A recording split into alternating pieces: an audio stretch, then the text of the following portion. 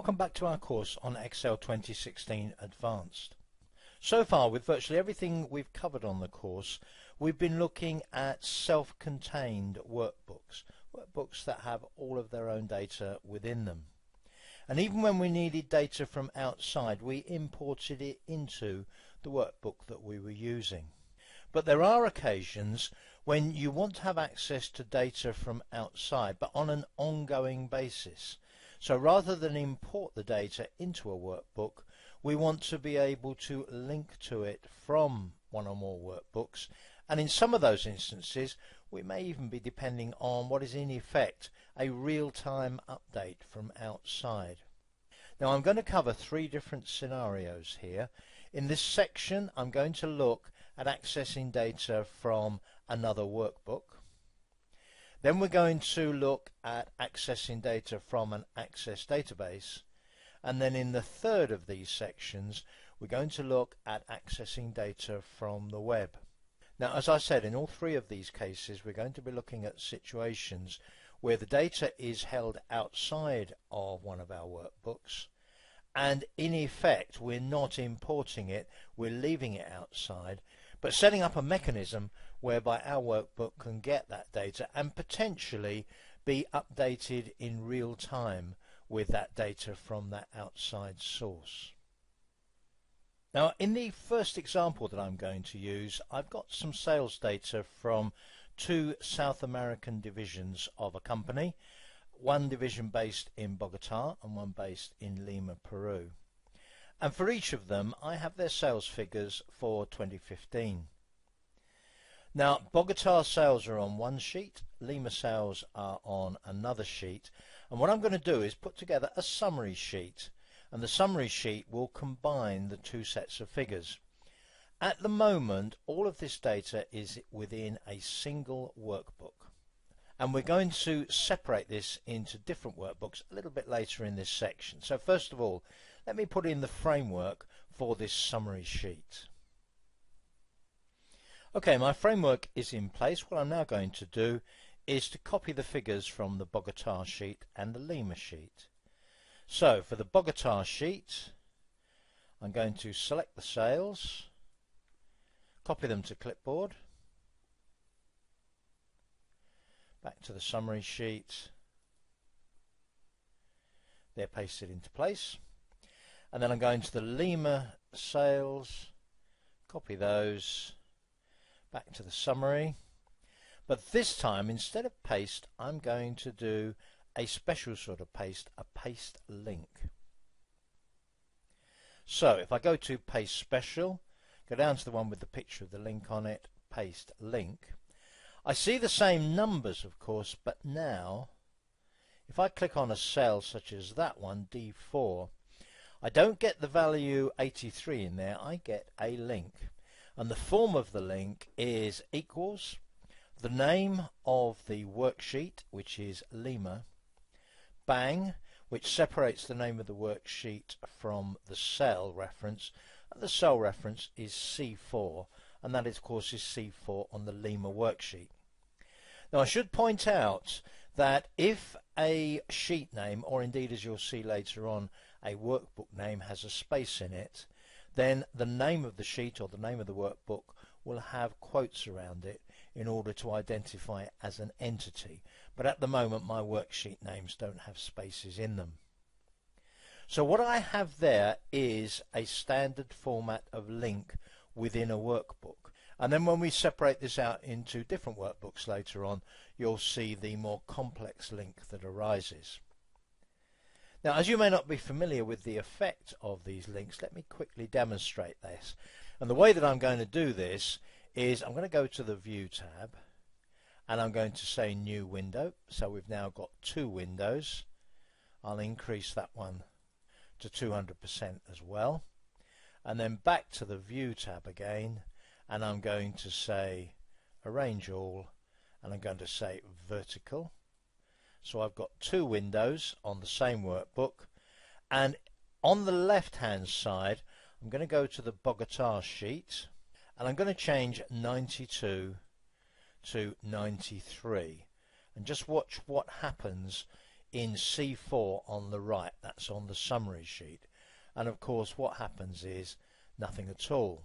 But if I go to the Lima sheet on the left, go to the first one which currently says 83 and change that to 85, look at what happens to the Lima entry on the right. Of course that becomes an 85 as well.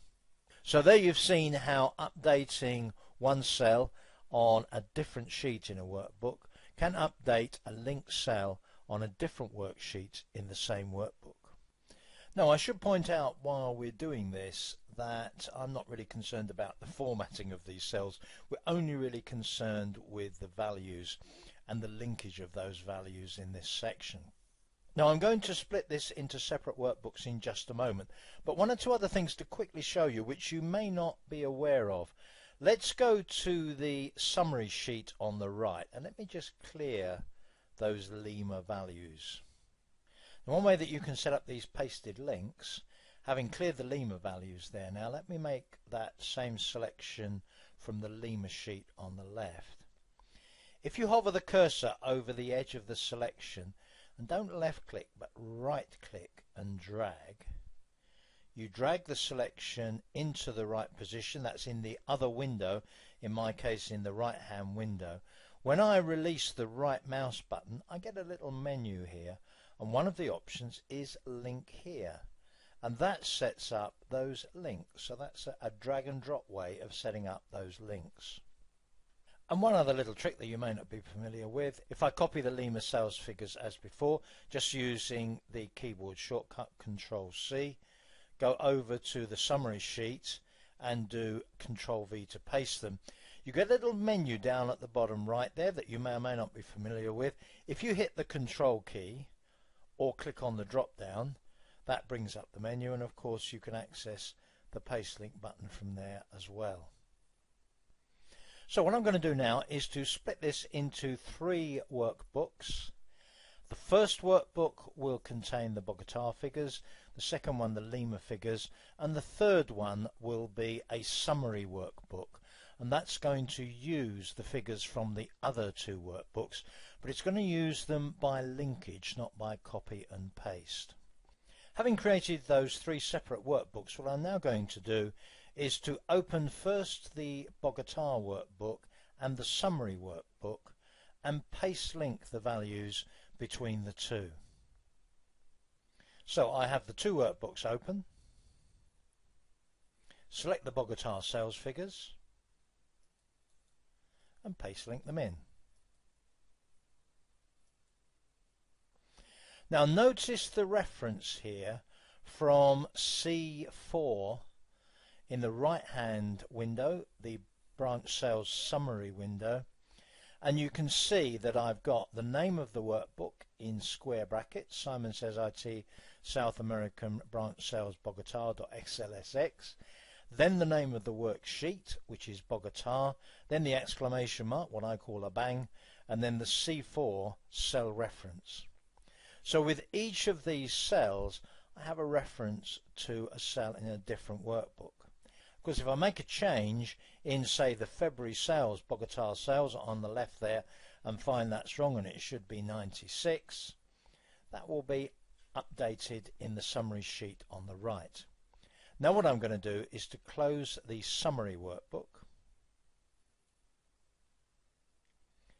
and with the Bogota workbook here still open I'm going to make another change. March figures also wrong. 91 should be 94 now notice I'm doing this when the summary workbook is closed. So tick on that change and now I'm going to close this workbook.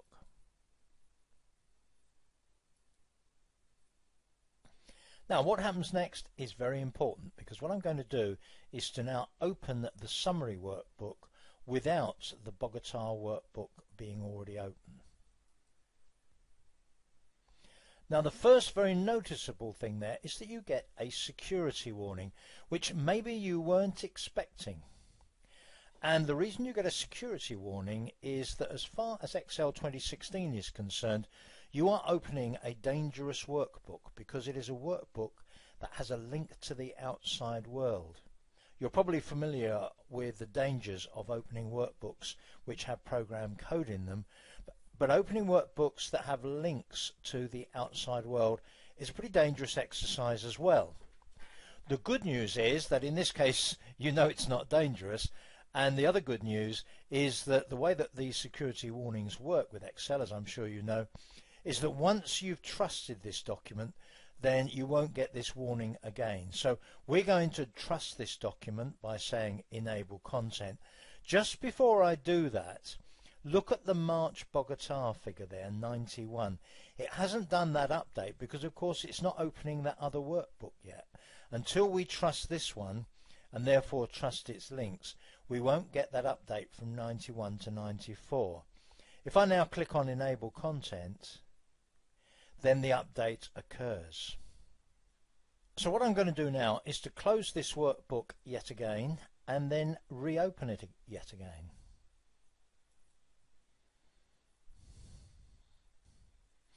Now this time, instead of the security warning, we get a regular warning that you will get this workbook contains links to one or more external sources that could be unsafe. If you trust the links, update them to get the latest data. Otherwise, you can keep working with the data you have. So now you get a choice of updating, in which case it will look at the Bogota sales and see if they need an update, or you can say don't update if you're happy to work with what's there already. So that's a pretty straightforward way of giving you the option of updating from those external links or not. It does, however, raise one other issue, and that is let's suppose that the whole point of this summary workbook is to perhaps produce a management report, and you want to be able to send this workbook to various people, but they won't have the individual workbooks, the Bogota workbook and the Lima workbook. You just want them to see the summary figures basically at a point in time.